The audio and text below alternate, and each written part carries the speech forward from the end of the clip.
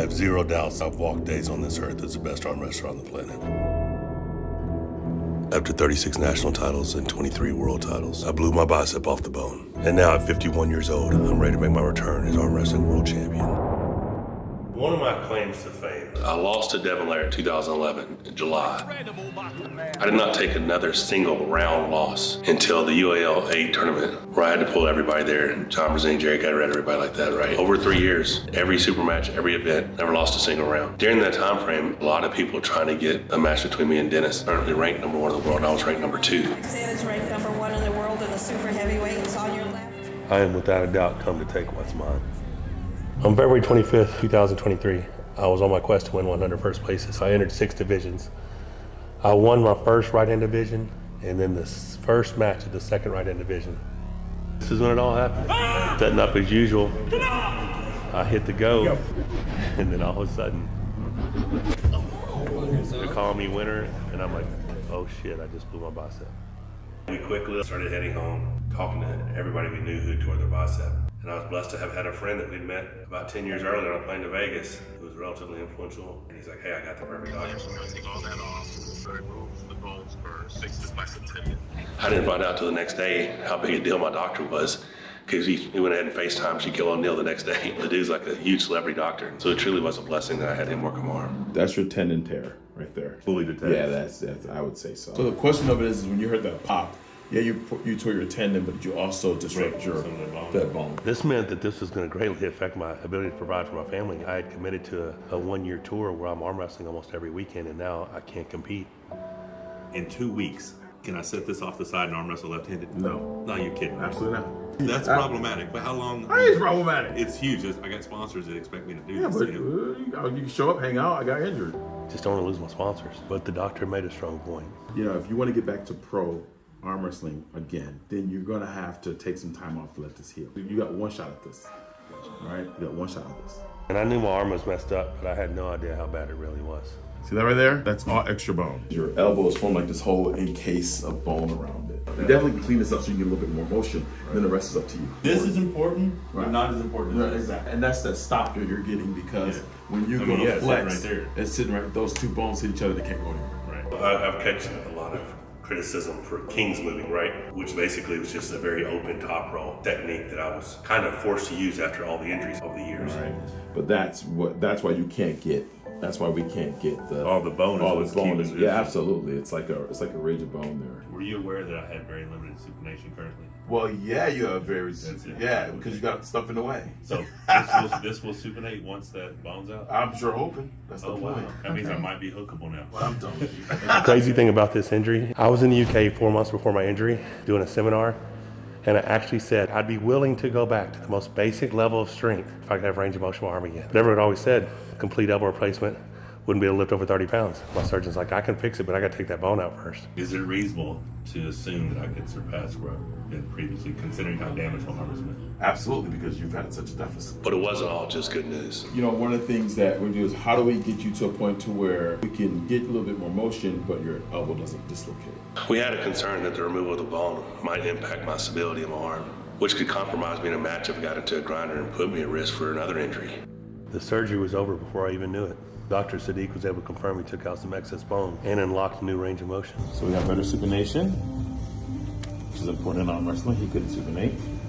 And then we look at his fin, a lot more flexion. With rehab, I might even get more range of motion. I think uh, that's the plan. Oh, awesome. That's the plan. However, my optimism post-surgery was, was definitely declining. But my doctor, having worked with elite athletes, knew exactly what I needed to hear to get back on track. Prepare your mind mentally to get ready for the comeback, because that's what this is, the comeback. Shortly after, I was cleared for physical therapy, which I was really excited about. Uh, it's been awesome doing some really small movements, but uh, it's crazy. Like my wrist and stuff is sore. I feel some soreness, but I'm getting that movement back. See, this is just normal stuff right here. When he told me to do this yesterday, I got all happy and stuff.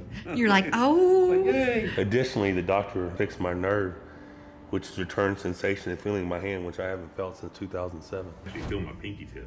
Perfect. And I haven't felt that in a long, very long time. The whole bottom fingers are numb, from fingertip to numb. My arm was healing, and things were looking really promising. Prior to surgery, this is as far as I could get. Wow. And now,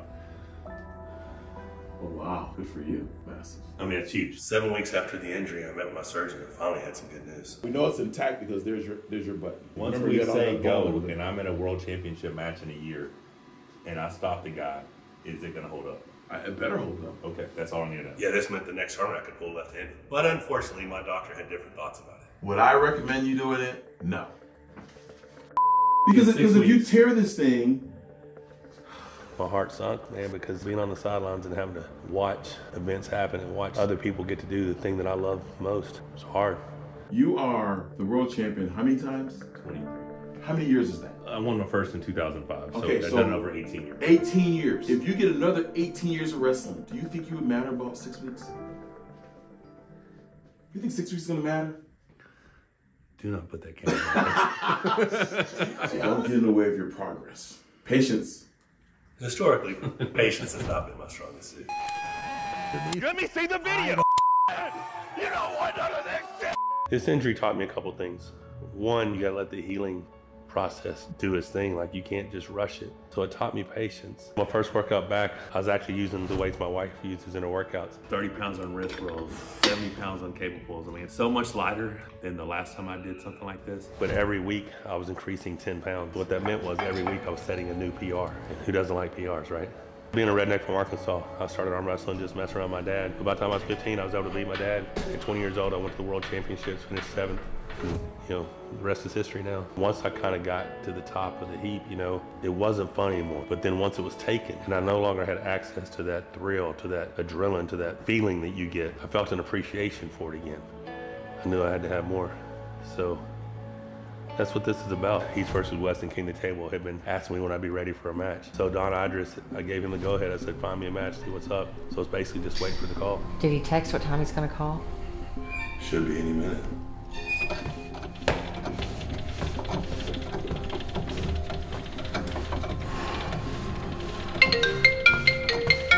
Holy shit.